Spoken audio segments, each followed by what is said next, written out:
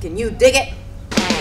Hey everyone, my name is Kaine Koltoniuk, as you know, and today we're going to be comparing my skill to my Shifu Yan Yi's skill, and I don't think things are going to go well for me in this one.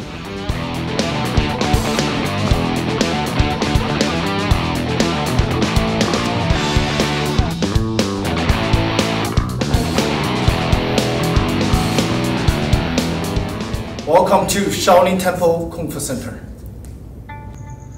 So this is my Shifu Yan Yi Shi. He is a Shaolin monk from the Shaolin Temple in China, and I really have to thank him for being my teacher. So I'm gonna ask you some questions. Is that okay? Yeah, sure. So, how old were you when you went to the Shaolin Temple? When I was nine years old, when uh, I came to Shaolin Temple and training with other masters, yeah, this is almost the age around that. Yeah. So, what did you do after you left the Shaolin Temple? Well, left the Shaolin Temple was 2011 when my Kung Fu brother bring me here to do the culture exchange to promote the Shaolin cultures. So that's right. I came here by my Shifu Abed. Yeah. And what made you want to come to America and start teaching? Well, that's good questions. Before I came to America, we was travel around the world, so we have been performance in uh, European and Australia, and also Asia country, few Asia country. It's pretty good.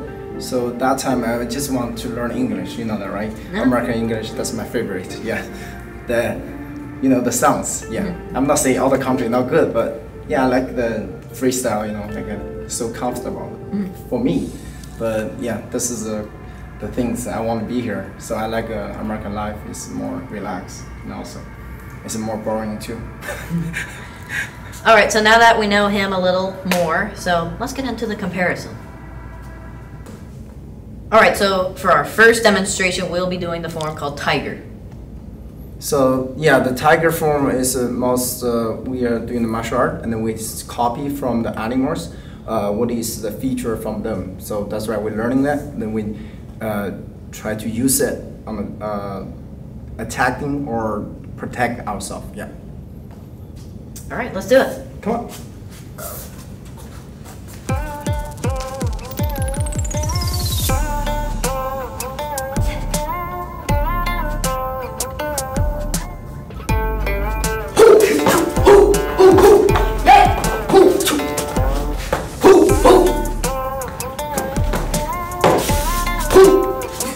Very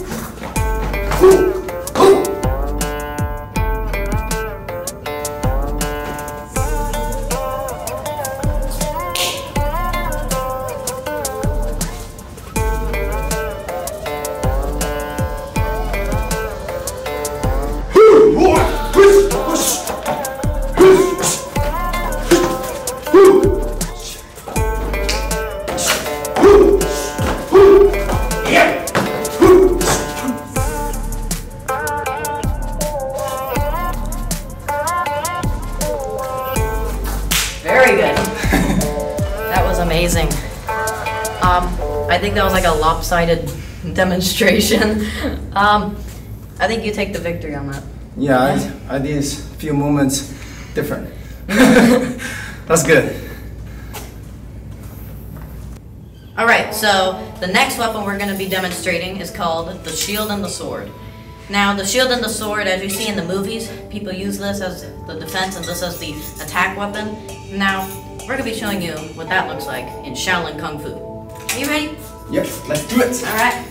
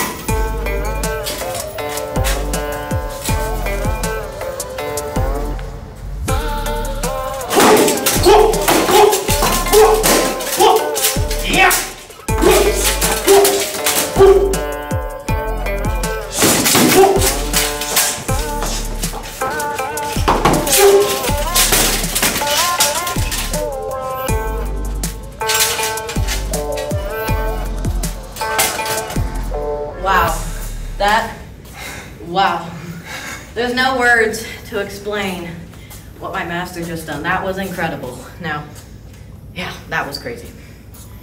Time for the next one. So our next comparison of a weapon is the double-handed straight sword. Okay, how can we use this sword? And also, where's the long? You can keep distance with your opponent. And also, the straight sword have a three side you can use. First one, you can push, and another one you can slice or cut or slice up. Yep, that's not a simple way we using it. And you ready? Yep, sure. All right.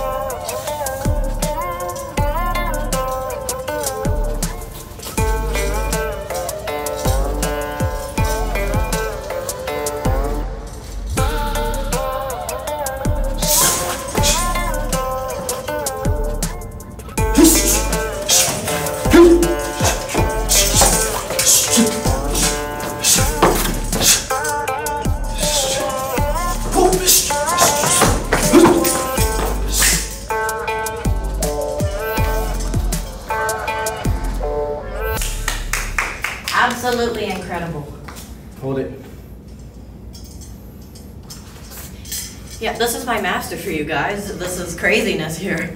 That was a lot of flexibility, which is very amazing. Power and strength, everything in one. That's what I want to be one day. All right, I think it's time for the next comparison. For our next comparison, we are doing the weapon called Pudao. Yep, so the Pudao is a most important, like a medium weapon. It's not belong to too high. And also, its use is very convenient. So I have a sword on top and I have a stick on your hand. So you can use both way attacking, cutting, or use very faster to use it with the, you know, to the opponent. All. Right, Okay, you show them. give a demonstration. Go ahead.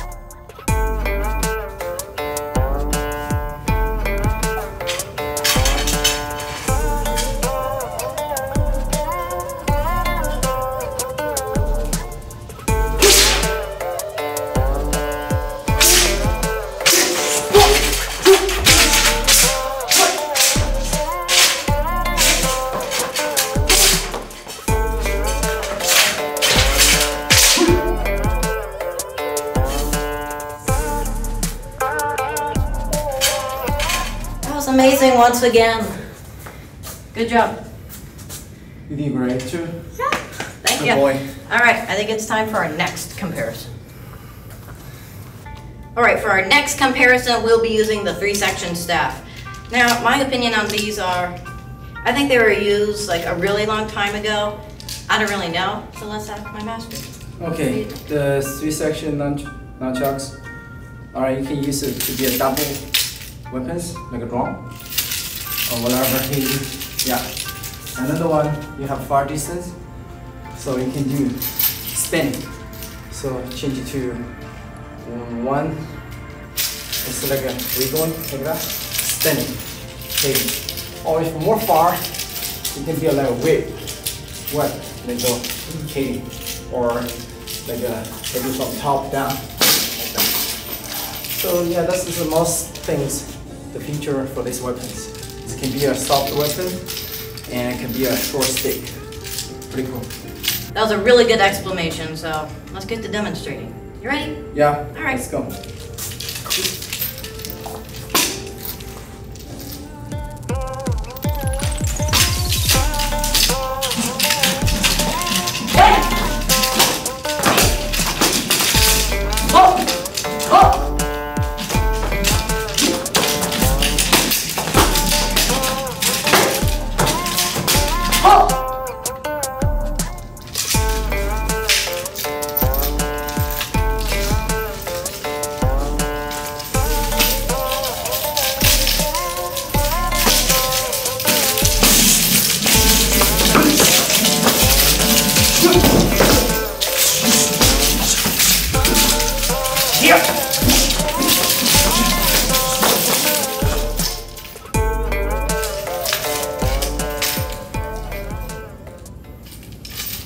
That was amazing, like always.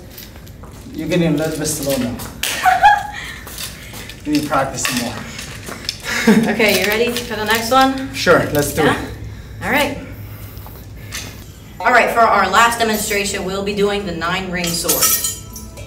Yep. Uh, so we do the nine ring sword. It's used in war, so it's the weight is heavier, and also you can carry the power to cut, split him up. All right, let me show them. All right, you go first.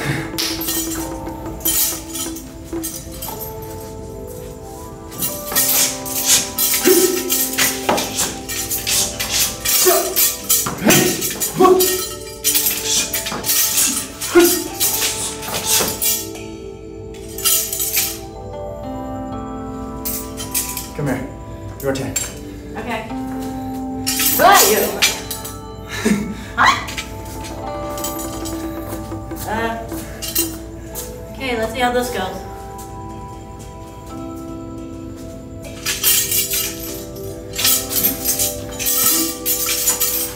I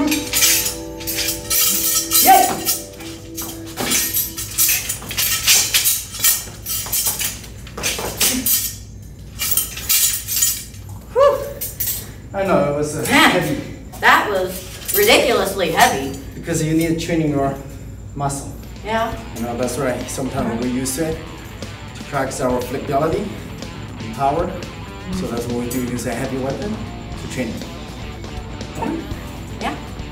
Thank you for watching, everyone. Make sure you like and subscribe for more content like this. And we'll see you all in the next one.